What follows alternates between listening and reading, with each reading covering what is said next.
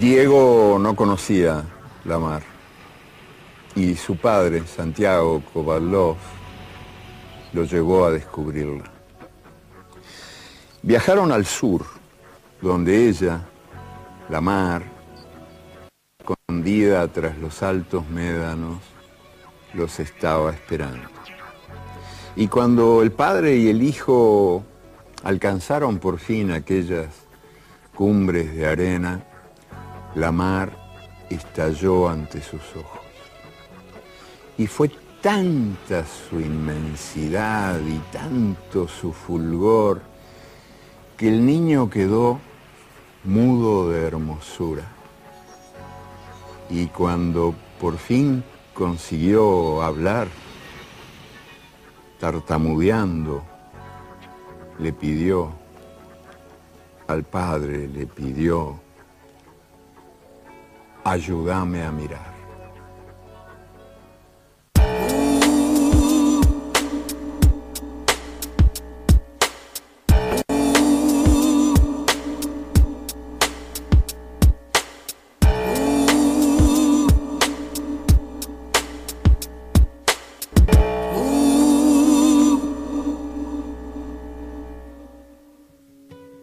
Por increíble que parezca, la, la principal cárcel de la dictadura militar uruguaya se llamaba Libertad. Y por increíble que parezca, estaba prohibido en esa cárcel llamada Libertad que los presos dibujaran o recibieran dibujos de mariposas, estrellas, parejas y pájaros. Uno de los presos, Didasco Pérez, maestro de escuela, preso por tener, como dijo el oficial que lo detuvo, preso por tener ideas ideológicas, recibió un domingo la visita de su hija Milay, de cinco años. La hija le trajo un dibujo de pájaros, como los pájaros estaban prohibidos. La censura se, los rompió, rompió el dibujo, los censores rompieron el dibujo a la entrada de la cárcel. Al domingo siguiente, Milay trajo un dibujo de árboles. Como los árboles no estaban prohibidos, el dibujo pasó. Y el padre le preguntó, esas frutas, esas frutas de colores que hay, ¿qué son? Naranjas, limones, manzanas, ¿qué son? Y la niña lo hizo callar. ¡Shh! Bobo. ¿No ves que son ojos? Los ojos de los pájaros que te traje a escondidas.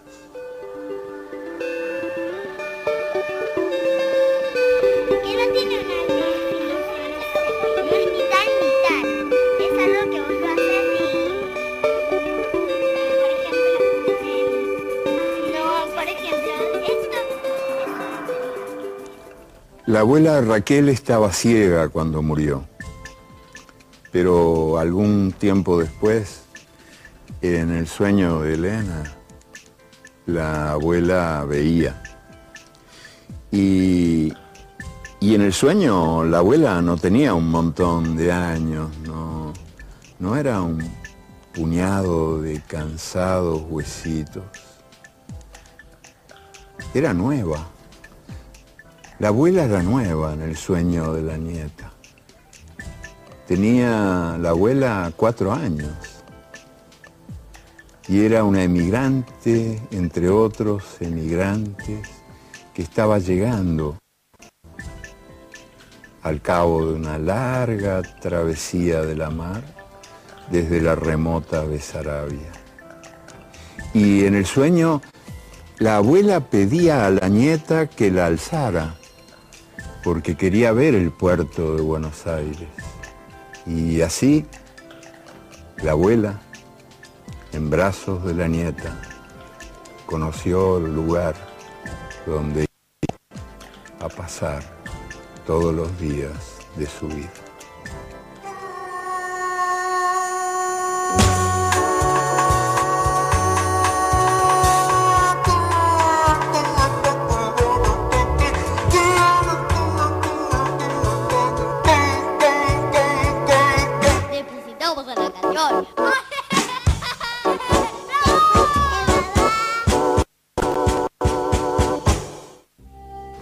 Yo al principio no lo quería porque creía que él iba a comerme un pie. Los monstruos son agarradores de mujeres que se llevan una mujer en cada hombro y si son monstruos viejitos se cansan y tiran a una de las mujeres en la cuneta del camino. Pero este monstruo, el amigo mío, no agarra mujeres ni nada. Todos le tienen miedo, porque el pobre no sabe hablar, pero él es bueno. El problema es que es tan pero tan grande que los gigantes le llegan al tobillo. Viene y me visita. En el cielo no vive, porque si viviera en el cielo como Dios se caería. Es demasiado grande para vivir en el cielo. Hay otros monstruos no tan grandes que viven en Plutón o en el Onfinito o en el Piranfinito, pero él vive en el África. Y de ahí viene y me visita. Ahora, cualquier día de estos va a aparecer, ¿eh? va a venir. Caminando por el mar va a venir, convertido en un guerrero que más inmenso no puede ser y echando fuego por la boca y de un solo soplido va a reventar la cárcel a donde lo tienen preso a mi papá y me lo va a traer en la uña del dedo chiquito y yo me lo voy a meter a, mi cuarto, por la ventana me lo voy a meter y le voy a decir, hola, y el monstruo se va a volver al África despacito por la mar y, y entonces mi papá va a salir a comprarme caramelos y chocolatines y una nena y se va a conseguir un caballo de verdad y vamos a salir al galope por la tierra. Mi papá y yo, yo agarrado de la cola del caballo al galope lejos y después cuando mi papá sea chiquito yo le voy a contar la historia del monstruo, amigo mío, para que mi papá se duerma cuando llegue la noche. Pantalón cortito con un solo tirador. Media galleta rompiendo los bolsillos. Palito mojarrero, saltitos de gorrión.